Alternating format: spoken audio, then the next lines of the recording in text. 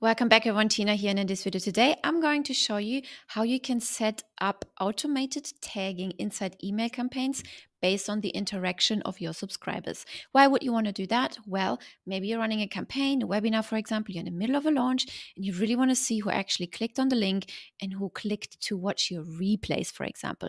Let's say first you were running the webinar live, then you're sending out the replay. If people clicked on it, then you can send dedicated emails based on that action to really remarket to these people and maybe not to the ones who didn't even click on your webinar link in the first place because you don't want to bother them with a promotion that is maybe not relevant to them.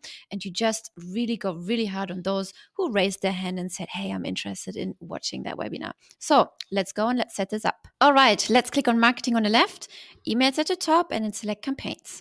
Click plus new campaign or just select one that you've already created. So let's choose this one. And here we are in the email builder. Once you've renamed your campaign, you've added your text, your images, your buttons, your social media icons, and so on and so forth, you can just go ahead and click send or schedule top right corner. Then scroll down, and right here you see the option add tags. Okay, so you just toggle this on, and now that means you've turned on to automate adding tags to contacts depending on how they interact with your campaigns. Now, furthermore, you can also add conditions. So just click the add conditions button. Here we can choose a condition hey, the contact opened the campaign, hey, the contact clicked the campaign, the contact replied to the campaign, unsubscribed, email hard bounce or email soft bounce. Let's say simply we're going to just go with open the campaign. Then we want to add a tag which says, for example, open campaign. You click the drop down menu and you will add your campaign tag. Please note right now, one of the limitations is you can't create a tag right here inside of this email builder.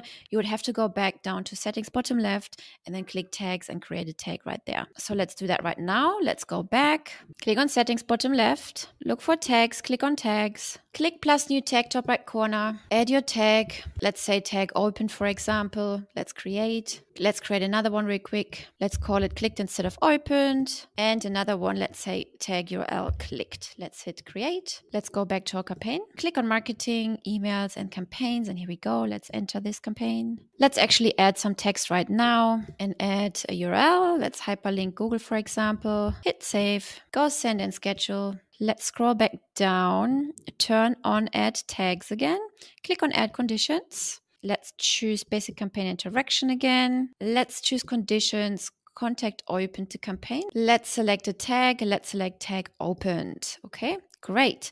If you wanted to delete it for whatever reason, just click the delete bin icon right here. If you wanted to add one more condition, for example, the person also clicked on a specific link, just add one more condition, choose the type, basic campaign interaction, click the campaign, then select a tag, let's say tag clicked. All right. Now let's add one more condition. And here you can see that the contact click on the link is grayed out. That's grayed out because we haven't turned on track links here. So let's cancel real quick. Here you see track clicks, just turn that on and then go back to conditions, add one more, and you can then select contact clicked on a link. Okay, now let's set a condition. Now here our link shows up the google.com link.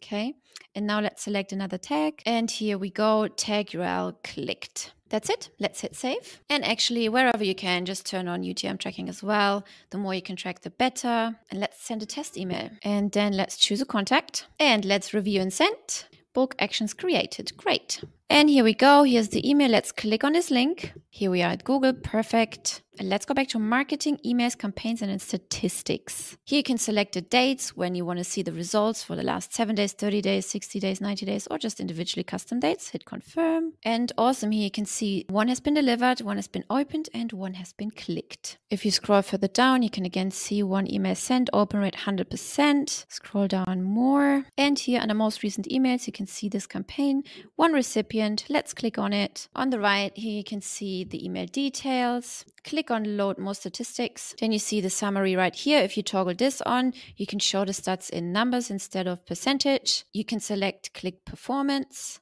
and it will show you the URL, including the UTM tracking that we've turned on before. So google.com, perfectly fine. If you click on the text right here, then here you can see all of these three tags have been added to that particular contact that has opened the email, that has clicked on the email, and has also clicked on the URL inside the email. So here you can click view contacts and it will show you all the contacts that have done this particular action. And that's it already. This is how you can automate adding tags to specific email campaigns based on the interaction of your subscribers.